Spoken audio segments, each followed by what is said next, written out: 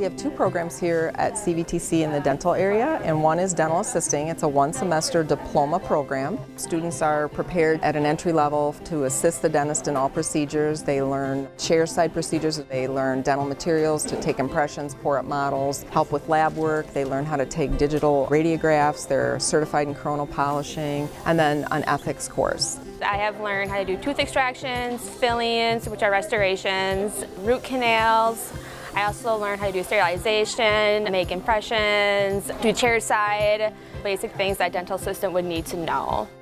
Dental hygiene is a two-year accredited program. We cover, you know, all aspects of dental hygiene, which would be ethics, dental materials, oral anatomy, pathology, pharmacology, and of course all the clinical courses and periodontology that go with that.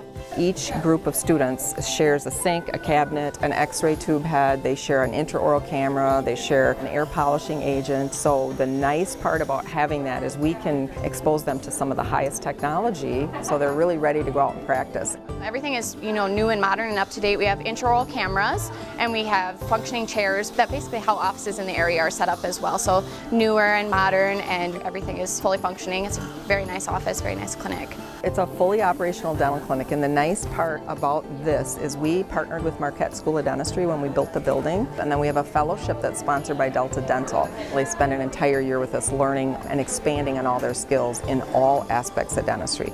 We have a lot of community partners that work with us, pediatric offices, orthodontics, specialists for oral surgery, periodontics. So everything's done here for dental assisting for the most part, and then for dental hygiene, everything's done in-house. So they treat patients and work with uh, clinical dentists, the dental students, and the dental fellows.